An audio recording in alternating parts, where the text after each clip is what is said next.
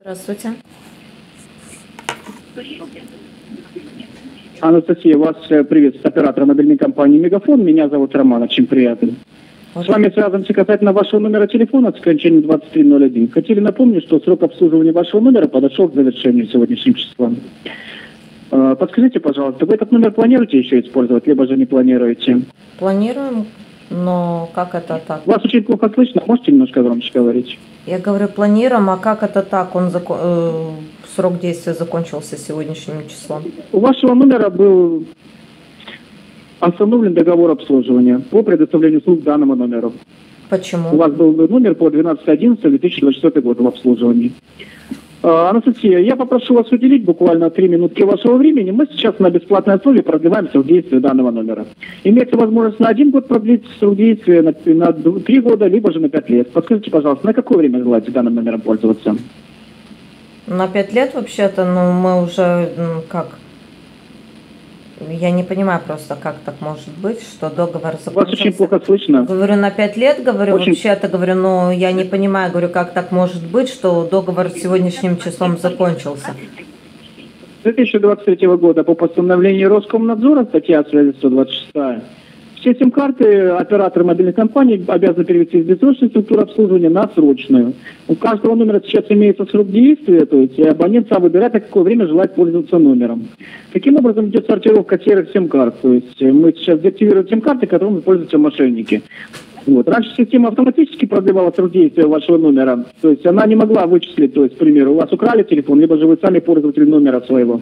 А сейчас оператор продлевает срок действия номера, и таким образом то есть, мы вычисляем, то есть деактивируем номера, которые не принадлежат нашим абонентам.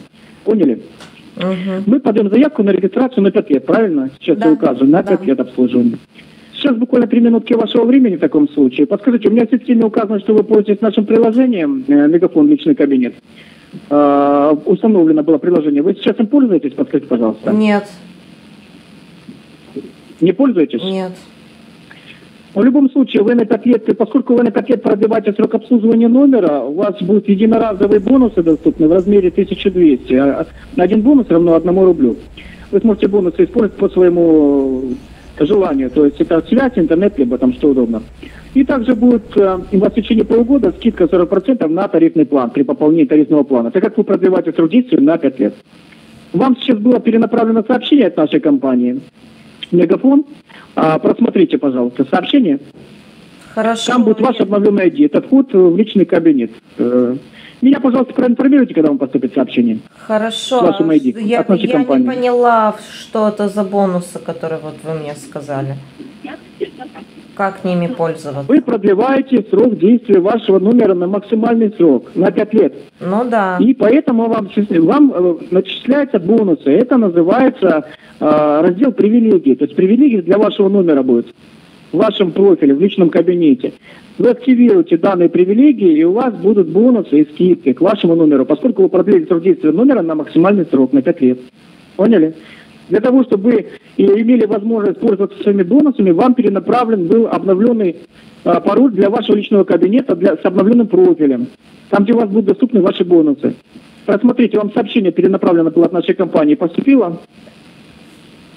Да, поступила. Но почему-то не от мегафона, от госуслуг. От госуслуг поступило? Да. Так, хорошо, я понял вас. Ну, я не знаю, я вам не отправлял от госуслуг ничего. Скажите, пожалуйста, у нас в системе надо указать информацию, у нас неполная информация, а число месяц рождения ваш, подскажите, пожалуйста, у нас только год указан. Но зачем вам число месяц рождения? Пусть так и Мы будет. обязаны проверять сведения об абонентах, э, и если абонент не подтверждает э, свою информацию, то есть свою, то мы не можем продлить срок обслуживания номера. Но я не хочу говорить.